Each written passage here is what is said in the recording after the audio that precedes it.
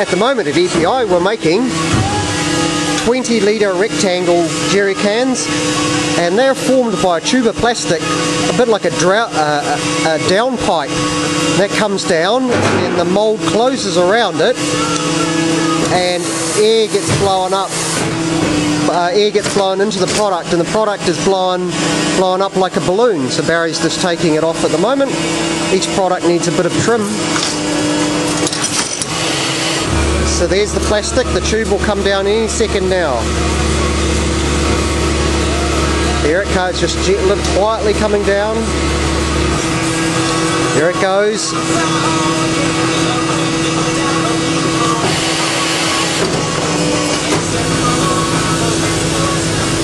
Each jerry can gets a little bit of trimming and they go into a pack over here